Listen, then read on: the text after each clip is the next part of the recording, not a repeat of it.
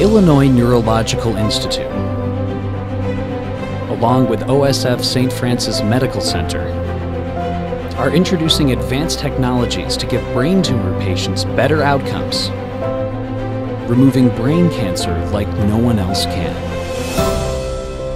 So an intraoperative MRI is essentially an MRI that is linked to the operating room. What it allows us to do is to scan the patient almost in uh, live time as we're operating.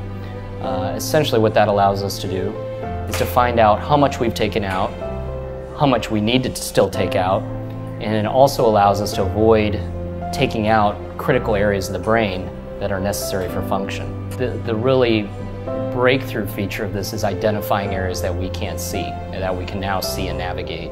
Here at OSF St. Francis and the INI, uh, we've developed a system uh, where we can really efficiently image the patient uh, and uh, accurately image the patient as well and perform our surgeries better. It's not as common uh, in this setup. We've only have about five of these centers nationwide with the technology that we have here. The INI Brain Tumor Center is unique and superior due to the collaboration among neurosurgical oncology, neuro-oncology, radiation oncology, ENT, and also all of our support staff and brain tumor navigators.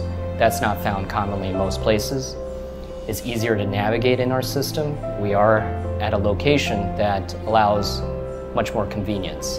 At the INI Brain Tumor Center, we treat approximately 250 to 300 patients a year uh, at either uh, Gamma Knife or in our operating suites. In terms of who would be a good candidate for intraoperative MRI, a lot of those with primary brain tumors, and what I mean by primary are those tumors that grow in the brain as opposed to spread to the brain.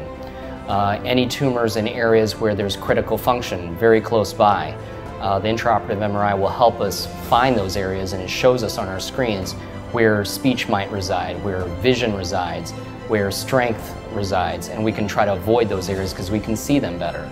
We can take more out and preserve those critical areas. Illinois Neurological Institute, the region's only intraoperative MRI, removing brain cancer like no one else can.